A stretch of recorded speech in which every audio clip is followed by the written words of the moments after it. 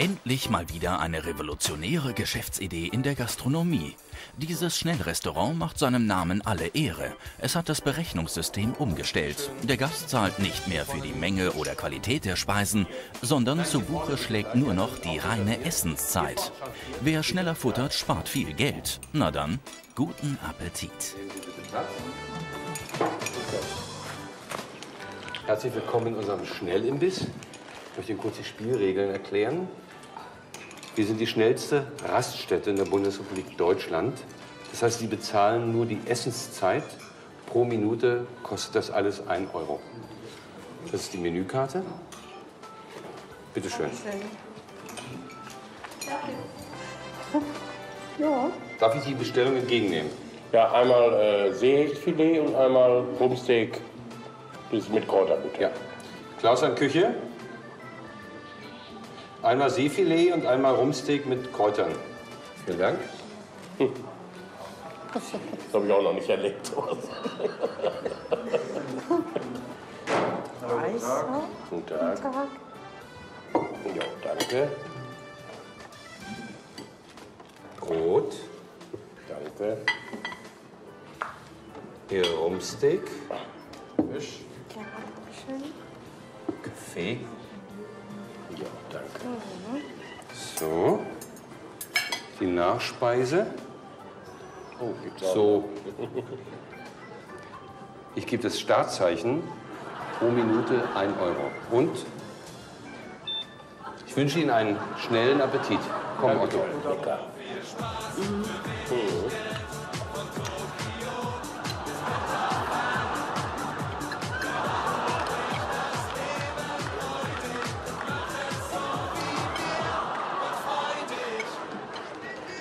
Schmeckt's? Bis jetzt hat's geschmeckt, aber es gibt erste körperliche Abwehrsymptome.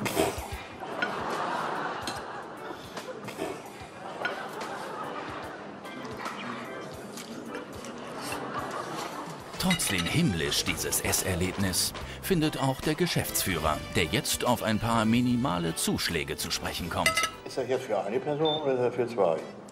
Wo machen Sie jetzt? Das ist Serviettenzuschlag. Wie in Italien. Das hätte ich vorher wissen sollen. Auch dieser Kunde erhöht gerade seine Gesamtrechnung. Das ist jetzt ein Zuckerzuschlag, ja? Kann das sein, dass ihr kurz vorm Pleite gehen seid? Serviettenzuschlag. Ja. So.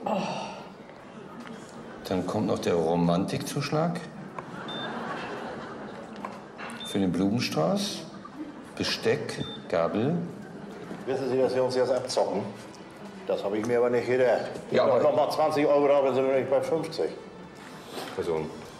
Pro Person 37, 53. Pro Person? Ja. Da haben Sie mich an- angeschissen. Das müssen Sie sich mal vorstellen, für dieses bisschen, was ich noch nicht mal gegessen habe, für 37, nun stellen Sie sich mal vor, ich hätte mir Zeit gelassen, dann bin ich 100 Euro los. Haben Sie mich abgezockt. Aber es liegt Nie wieder, das erzähle ich gleich dem Busfahrer, das Thema ist durch. Aber ich bezahle keine 37, 53 pro Person. Wenn ich für uns beide das bezahle, Stellen Sie mal, das wäre jetzt noch Trinkgeld auf dem unteren Level. auch noch. Nee, nee, nee. Da bezahle ich 100 für, für, für 10 Minuten Essen, nix. 40 Euro bezahle ich. Und dann aber für uns beide und nichts anderes. Das ist die Rechnung. Habe ich mir gedacht. Herzlich willkommen Nee, in der Fernsehsendung nix. Verstehen Sie Spaß.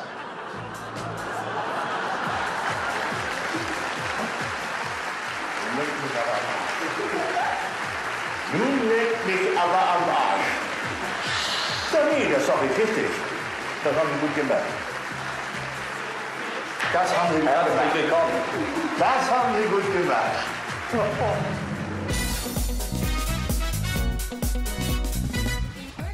Im Blickpunkt das City-Hochhaus von Leipzig. So ein Gebäude hat natürlich einen Fahrstuhl. Aber da gibt es heute, weit oben im 20. Stock, ein unerwartetes Problem.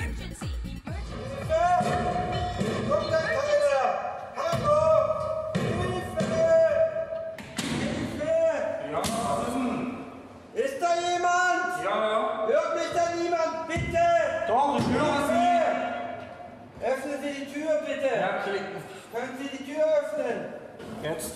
Oh. Gott sei Dank. Endlich. Ich bin gerade durchs Plexiglasdach gekracht. Es ist nichts passiert soweit.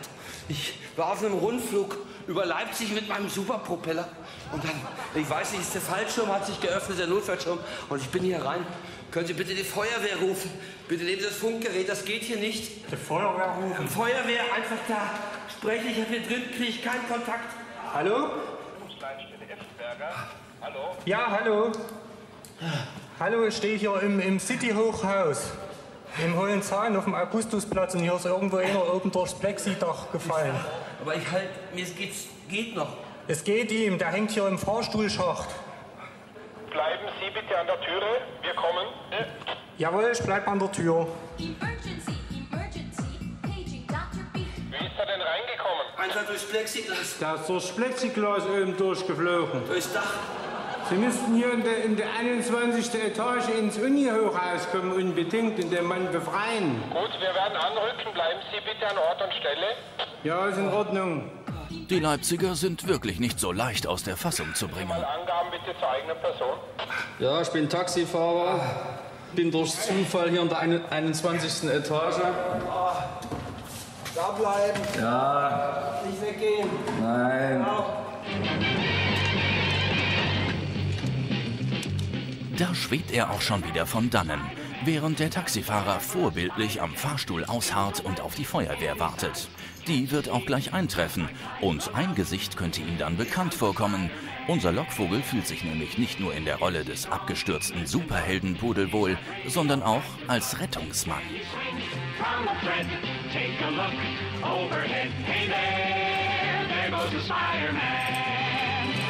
Hier hängen wir drin. Zug 1 hier rechts, einer die Tür bitte absichern. Feuerwehr Leipzig, Zug 1, Tür Müller, bitte da. Bitte da vorne hin. Ja? Ruhe, was ist passiert? Also ich, ich bin hier rausgekommen von der Firma und da hat er hier geklopft drin und hat nach Hilfe gerufen. Und da habe ich hier auf die Knöpfe gedrückt, da ging das ab. Da hing er hier runter und ich habe gedacht, dass er hier an dem Fahrstuhl arbeitet, weil der Fahrstuhl hier unten steht. So, und jetzt ist er irgendwo hier drin. Sind Sie noch da? Hallo? Kein Fallschirmspringer. Da besteht jetzt aber Klärungsbedarf. Ich will dahin, das. So, Moment, Moment. Sie haben gerade gesagt, ja. Sie haben einen Alarm ausgelöst, weil ein Fallschirmspringer. Hat Sie mir gesagt, er wäre Fallschirmspringer? Im Fahrstuhlschacht. Ja. Er wäre irgendwie durch ein Plexiglas dort. Nicht, ich habe ja hier sein Funkgerät. So, Zug 1 bitte abrücken. Kleinen Moment. Sie kommen bitte mit. Bei einem Fehlalarm versteht die Feuerwehr ja überhaupt keinen Spaß. Könnten wir kurz Ihr Büro für fünf Minuten nutzen? Das ist ein Ernstfall, ja? Na klar. Bei dem Herrn war ich gerade drin hier. So, bitte. So. Fenster ab. So. So, jetzt gebe ich Ihnen noch eine Chance, das in Ruhe mir bitte mal zu erklären. So, jetzt, was haben Sie gesehen? Ein Mann, der hat drin geklopft und hat nach Hilfe gerufen. Wo? In diesem Fahrstuhl. Ich bin doch nicht bekloppt. Ich habe dieses Funkgerät von denen hier in der Hand. Meine, Sie wissen, was ein Einsatz kostet. Wenn wir kommen, die Feuerwehr Leipzig, eine der besten der Bundesrepublik, wenn wir kommen, Sie wissen, was das kostet. Weiß ich nicht. Woher soll ich das noch wissen? Wo haben Sie das Funkgerät her? Das hat der Hamid, das hat der Mann mir in dem Fahrstuhlschacht gegeben. Entschuldigen Sie doch nur. Spider-Man, Spider-Man, does whatever a spider can. Spins a web any size, catches thieves just like flies. Look out, here comes the Spider-Man.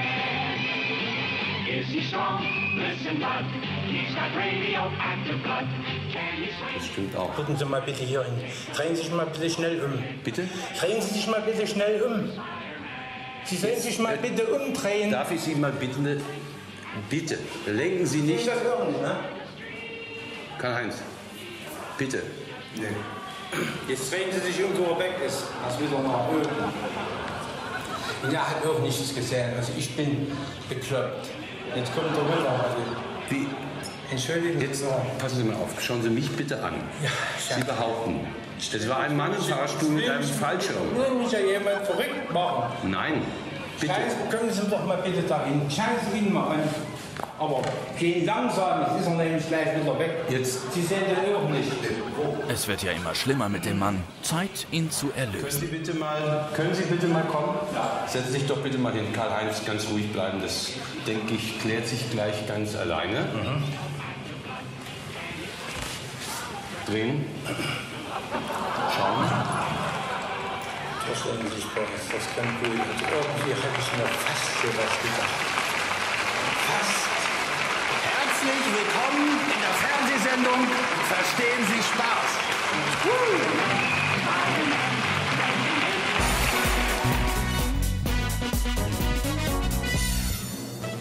Es war ein gesellschaftliches Ereignis und alle standen im Blitzlichtgewitter, ob nun Helden des Sports oder Stars der Klatschspalten. Auch Fotomodell und Moderatorin Gitta Sachs gab sich ein Stelldich ein. Auf der Gala im Europapark Rust, mit der die deutsche Tourenmeisterschaft eröffnet wurde.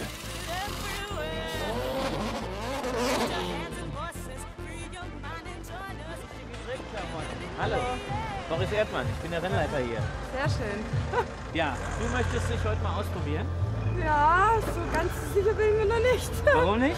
Ja, ich hoffe, dass er nicht zu schnell fährt, so mit 20, tuk tuk. Die Chance ich hat man nur jetzt, einmal. Ich finde es jetzt ganz cool eigentlich. Ja. Der Fahrer ist gerade noch, glaube ich, im Interview. Mhm. Matthias? Ja.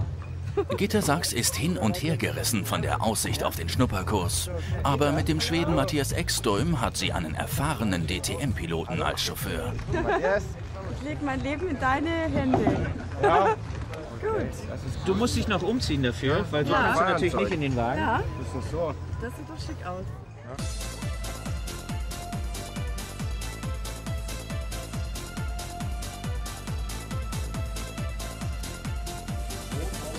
Tapfer geht Gitta an den Start. Währenddessen unterlaufen unserem Streckensprecher ein paar leichte inhaltliche Fehler. Dass ich Ihnen jemanden vorstellen kann, dem die meisten von Ihnen sicherlich keine, keine Unbekannte ist.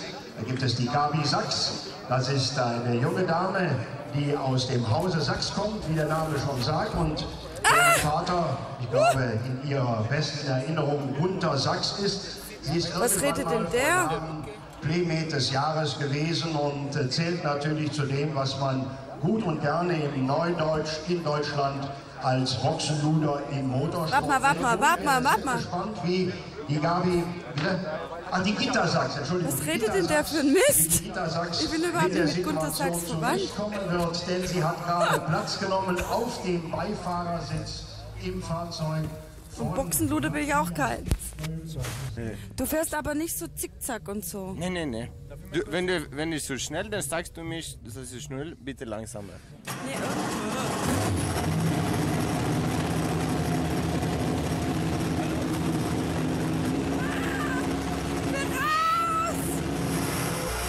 Ein paar Meter zum Aufwärmen, aber dann.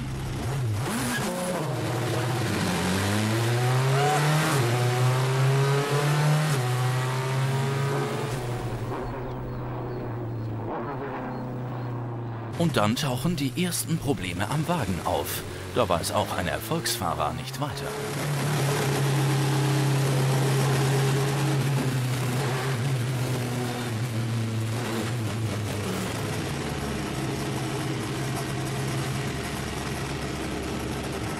Scheiße, die, die rote Ampel kommt an. Scheiße. Was heißt das?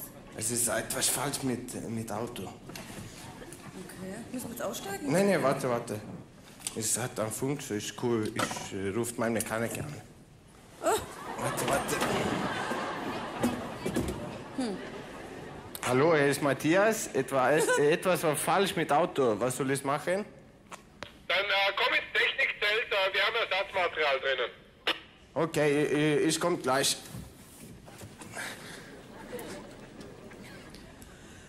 Gitter vertreibt sich die Wartezeit mit einem Blick auf die Armaturen. Ich frage mich ja, wo der Schleudersitzknopf ist.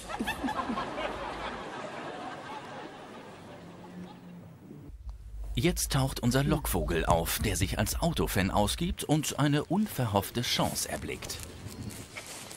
voll geile Kiste, ey. Ja, aber Sprit ist leer. Echt? Aber geil, ey.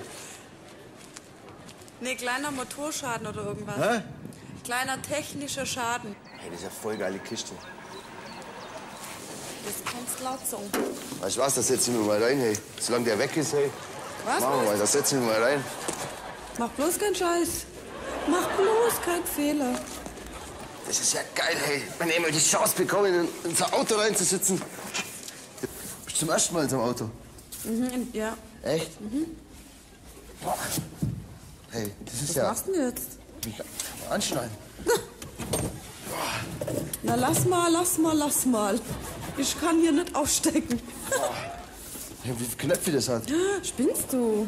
Hey, das ist ja echt geil. Was machst mal, du? lass mal, komm, wir starten mal. Nein. Komm, wir starten mal. Nein. Nein, sag mal, geht's? Sag mal, geht's noch? Ich sag mal, spinnst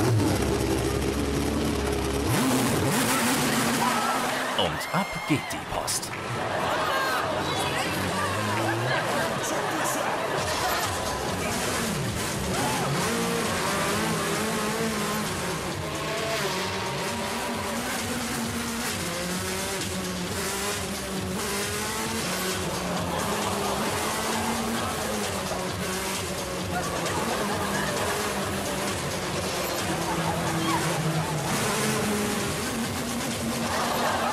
Gitter genießt inzwischen jeden kleinen Schlenker.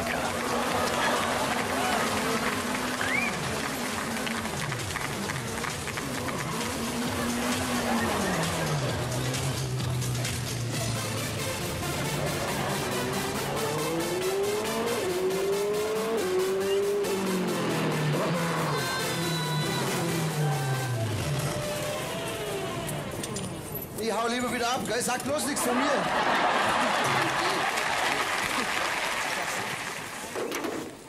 Scheiße, sag nichts von mir, gell? Ja, ja, komm.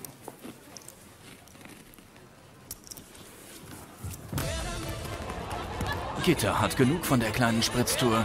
Schade.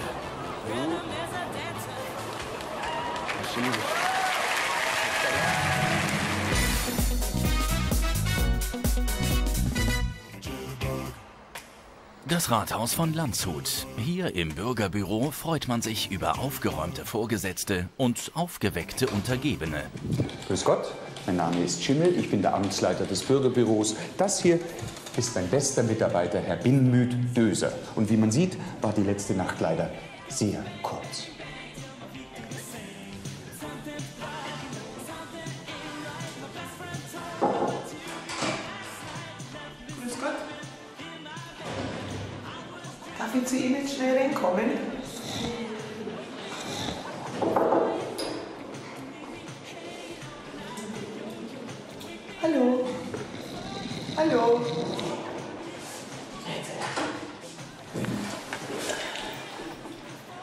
Im Moment scheint wohl keine Dienstzeit zu sein. Da sollte man besser nicht stören.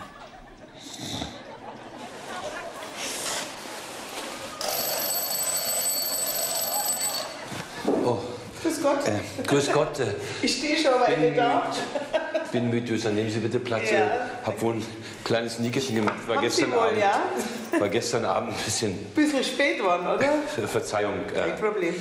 Äh, Ich möchte gerne einen Pass beantragen. Ja. Da hat man mich hier zu Ihnen reingeschickt. Ne? ein Pass. Ja. Ja, ja.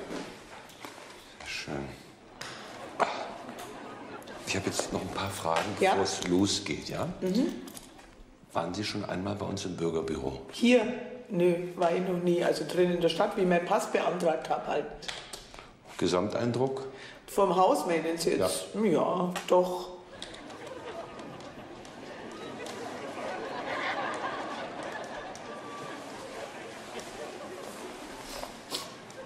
Die umfassende Befragung hat schon wieder alle Reserven aufgebraucht.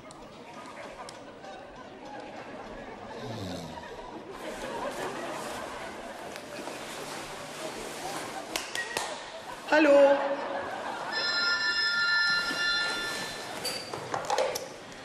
Bin Müdöser.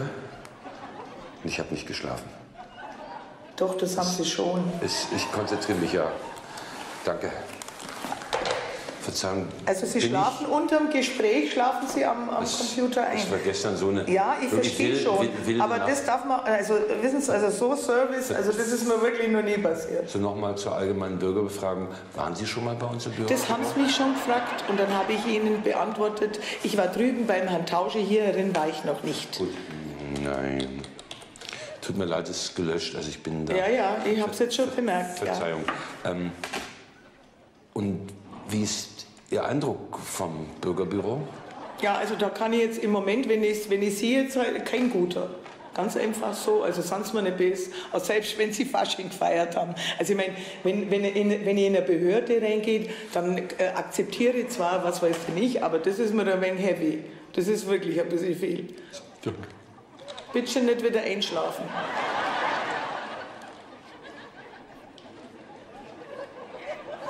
Bitte schlafen Sie mir nicht nochmal ein, sonst fliege ich nämlich hier aus. Was ist denn, was ist denn hier los? Was, was ist... Herr Binmut-Döser, schlafen Sie. Das gibt's ja gar Ja, nicht. das ist doch schon das Schimmel, Mal. Verzeihung, Entschuldigung. Wie bitte? Das dritte. Mal schlafen Sie. Äh, Bitte nehmen Sie Platz. Also ich bin- komm doch, das hat doch keinen Sinn. Ich bin- Der Herr kommt ja auch gar nicht mit, was Sache ist. Ich bin kurz eingenickt.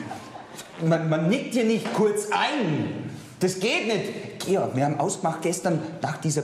Wir hatten Ich Junggesellen. weiß, ich weiß, das ist ja alles verständlich. Wissen Sie, ich habe da größtes Verständnis, aber ich bitte Sie, also das ist ein bisschen... Was wirft denn das für ein Licht auf die Behörde? das gehen's kein nach, gutes Licht auf Ihre jetzt gehen's nach Hause und sch- schlafen wir in Rausch. Ja, das ist Ver. Verzeihung. Das ist ja wirklich... Und lassen Sie einen nimmer blicken. Heute. Also, was Also, war Ihr Begehren? Pass will, möchte ich gerne haben. Mhm. Dem, er hat da meinen Pass runtergeschoben, irgendwo. Ich weiß nicht, wo er ihn hintan hat. Fragen Sie mich bitte jetzt nicht. Also, wenn er ihn jetzt nicht mehr hat, dann kriege ich gleich die Krise, gell? Ja, den bitte schon haben. Also, wenn er den jetzt verschlammt. Andererseits bräuchte ich auch den Pass. Ja, das ist doch ganz klar. Also, das darf ich alles nicht Jetzt ist er nach Hause gegangen mit Ihrem Pass. Was wollten Sie? Was Ich war? weiß nicht, ob er meinen Pass hat oder nicht. Also, das ist also das Letzte. Was möchten Sie noch wissen? ich Also möchte jetzt gar nichts mehr wissen. Ich muss wissen, Ihr persönliches Passwort. Da habe ich ihm vorhin gesagt, Carsten ist Carsten. Waren Sie schon mal da? Noch gar nicht. Noch gar nicht. Ich werde es nicht beantworten. Ich möchte einen Pass beantragen. Mehr will ich nicht. Wenn- Sonst mir nicht böse.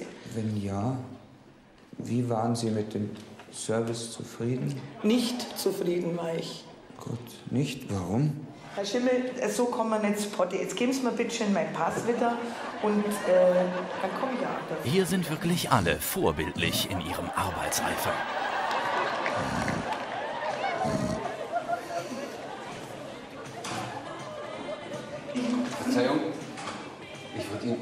Das hat jetzt also Konsequenzen. Er auch noch. nee, ich wollte Ihnen nur sagen, Ja. den kriegen Sie nicht wach, weil wir haben gestern so irre gefeiert. Ja, schön ich wollte Ihnen nur noch eins sagen. Ja. Wissen Sie, wer, wer, wer ihn wach kriegt? Ja?